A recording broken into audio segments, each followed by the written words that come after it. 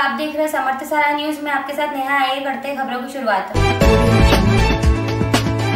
सिंगरौली सड़क सुरक्षा सप्ताह के समापन के अवसर पर एसपी अभिजीत रंजन के निर्देशन में बरगंवा थाना प्रभारी निरीक्षण मनीष त्रिपाठी के दल बल के साथ बरगंवा बैठक तथा लोगों को सड़क सुरक्षा एवं यातायात नियमों की पालन करने के बारे में जागरूक करने के लिए साइकिल रैली निकाली।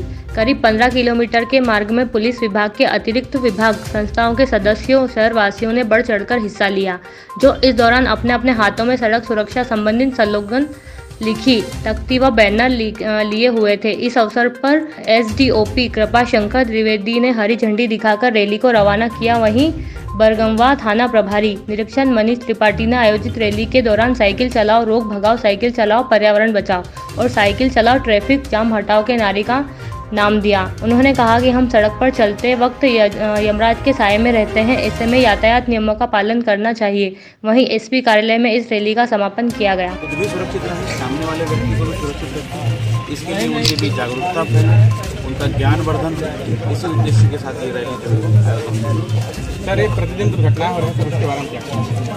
प्रतिदिन दुर्घटना निश्चित रूप से ये जो है बहुत ही दुखद भी है और अस्वीकार्य है।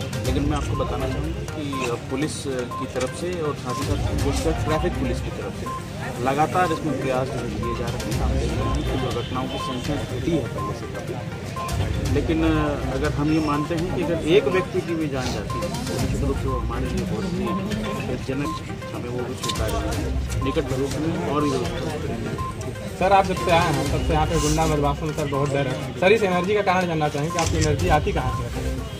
कोई एनर्जी नहीं आती है। एक्चुअली चैलेंज जितना आता है उसी हिसाब से फिर हम लोगों की एनर्जी स्टार्ट हो जाती है। पुलिस का काम है लोगों के साथ अच्छा व्यवहार करना लोगों में एक शांति का संदेश जाना और जो गुंडे बदमाश उसमें ये मैसेज जाना कि उनके साथ बहुत ही सख्त उनके साथ बहुत ही सख्त व्यवहार करें। और ये मैसेज लगातार यहाँ पे जा रहा है। हमारी टीम भी बहुत अच्छी है प्रत्येक अधिकारी से लेकर के हमारे नीचे स्तर के जो कांस्टेबल है वो भी कुल मिलाकर के अच्छा काम कर रहे हैं। तो सबकी सामूहिक सफलता भारत माता